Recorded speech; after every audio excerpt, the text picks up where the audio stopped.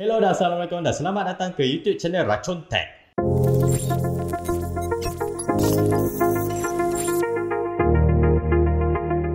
So topik untuk hari ini aku akan sembang pasal monitor gaming. Yes, ramai orang kat luar sana tu inginkan monitor gaming curve and besar. Tapi aku tahu korang inginkan bajet yang tak sampai beribu-ribu. So aku ada satu monitor ni.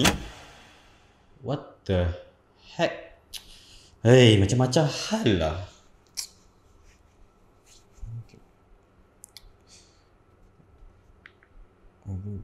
Malu phone aku ni okey.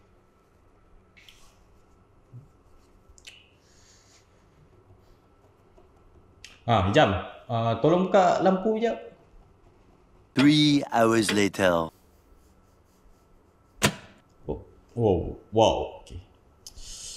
So hari ini aku akan review satu gaming monitor iaitu AOC Aegon AG322 FCX. Yes, aku tahu monitor ni dah lama, tak boleh nak cakap lama kan. Baru 2 tahun kan. So aku boleh explain and ubah persepsi korang. So jangan pergi mana-mana. Sebelum aku start review, apa kata korang tekan butang like dahulu? Ya, butang like kat bawah tu. Nampak kan? Rajin-rajin tekan lah. Dan kepada penonton yang baru, so basically YouTube channel ni pasal tips, tech dan gadget. So kalau korang terragu-ragu nak beli barang PC peripherals dan hardware di kedai luar sana and kat mana lagi kat online, korang boleh refer ke YouTube channel Racun Tech supaya korang fahami produk tu sebelum membeli. Jangan lupa tekan butang subscribe dan tekan butang notification supaya korang tidak terlepas video-video baru daripada YouTube channel ini. Jangan lupa follow aku di Instagram dan IG at racun.studio ya. Kalau ada banyak gambar tu aku nak korang like semua tu. Like eh.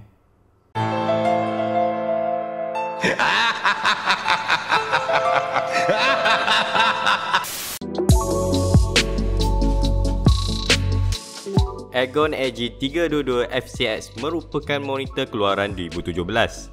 Even monitor ini sudah 2 tahun di belakang, bagi aku monitor ni tetap menjadi pilihan FPS gamers. Sebab kenapa? Haha. Apa yang aku nak cakap lepas ni amatlah penting. So dengar betul-betul ya. Sebelum kita terjah spek monitor ni, apa kata kita tengok dulu apa yang kita dapat dalam kotak.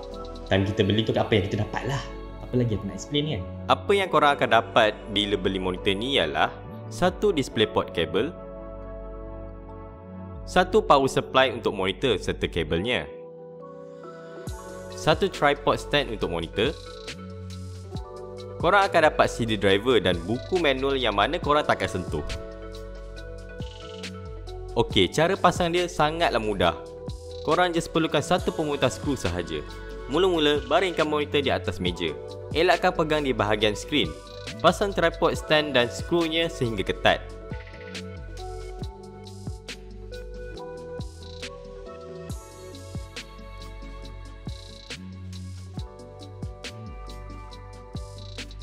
Okey, dan dari segi saiz, kelebaran monitor ini ialah 721mm.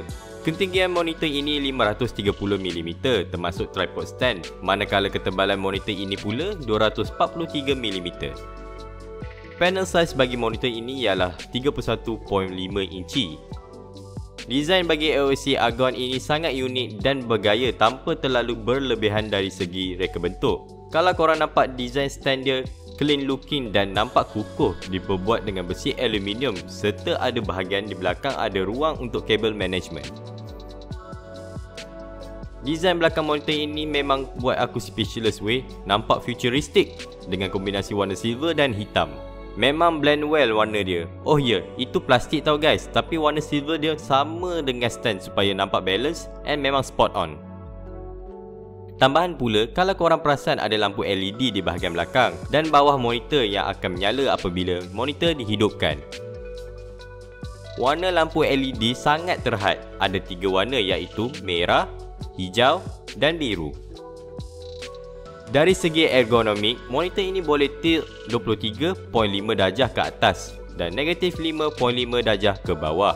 Kekurangan monitor ini tak boleh nak pusing ke kiri atau kanan. Satu lagi kelebihan yang sedia ada pada monitor ini ialah headphone stand di bahagian kanan. Di bahagian I.O. ports pula ada satu DisplayPort 1.2, satu HDMI 1.4, satu DVI dual link, satu VGA port, satu audio jack. Menu monitor sangat mudah untuk diguna. Dengan satu butang di bahagian bawah monitor, butang dia macam joystick and boleh toggle untuk penempatan setting korang. Toggle ke kanan untuk tukar warna LED dan kecerahan lampu. Toggle ke kiri untuk buka color profile menu. Toggle ke arah belakang atau senang cakap ke arah kita untuk akses shadow control. Lagi-lagi kalau dalam in-game, kalau masuk ke dalam kawasan gelap, korang boleh je adjust kasih cerah sikit. So, senanglah nak main game nanti. Akhir sekali, bila korang toggle ke depan untuk pilih display output.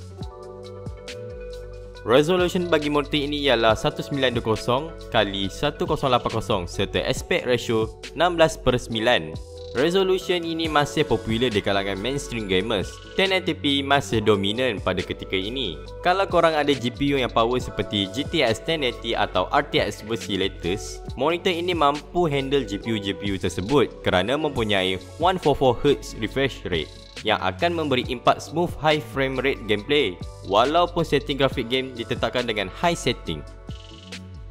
AOC menggunakan vertical alignment atau VA panel pada monitor ini VA panel masih dikategorikan di bahagian tengah-tengah antara TN dan IPS panel sememangnya mempunyai color brightness dan contrast ratio yang menarik.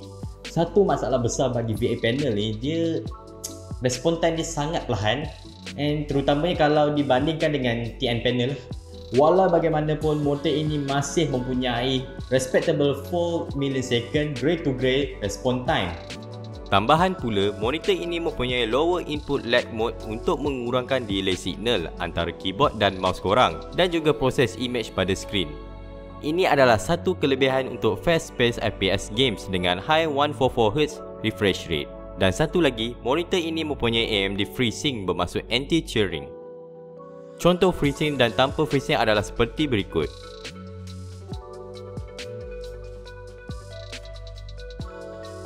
Okey, ini penting. Monitor ini hanya untuk gaming saja. So kepada video editor, aku rasa monitor ni memang tak sesuai lah. Sebab biasanya video editor dengan graphic designer akan pakai uh, monitor IPS panel. So bagi aku VA panel memang tak sesuai. Aku adalah main beberapa game dengan monitor ni. I'm not gonna lie, this is nice though. Aku sekarang ni tengah pakai GPU Asus ROG Strix RTX 2060 dan dia memang perform dengan monitor AOC Argon AG322FCX ni. Harga dia? Aduh, hai. Harga SRP bagi monitor ini RM1299. Tapi harga promo racun tag 1259. So korang boleh datang ke Racun Tech lah kalau nak beli murah sikit. Pada pendapat aku lah kan, even resolution dia 1080p tapi dengan refresh rate 144Hz, aku rasa dah kira power lah tu. Apa pendapat korang tentang monitor ini? Sila komen di bawah ya. Syarat kepada Muhammad Fikri kerana memberi komen yang positif. Bagi aku komen-komen positif korang ni ni macam bagi satu semangat bagi kita orang lah sebagai tech reviewer ataupun gadget reviewer apa benda kau nak nak panggil kita orang ni. Kita orang macam dapat semangat ni and dapat produce video-video menarik untuk korang lah. Bukan untuk siapa untuk korang saja. And lagi satu, ada tak produk-produk yang korang inginkan kita orang untuk review ataupun test atau apa-apalah sama ada barang tech atau gadget macam phone ke atau peripheral PC ke atau peripheral macam-macam berkaitan tech lah jangan berkaitan benda lain pula kalau ada, sila komen kat bawah ya. Like kalau korang lagi subscribe sekarang dan jumpa pada episod akan datang. Nama aku Ahnaf. Bye-bye. Monitor ah, tutup. Satu monitor, biasalah aku dah sebut monitor kau tutup. Okay. Atau kau diam je lah macam tu. okay. Kepala, deep breath. You just play the game.